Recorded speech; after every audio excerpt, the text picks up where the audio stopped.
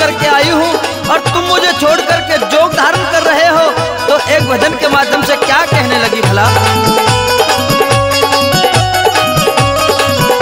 वो जोगी बन कह करू गुजारो मेरी, सुन सतवंती नार। उस मालिक से तोर लगी मेरी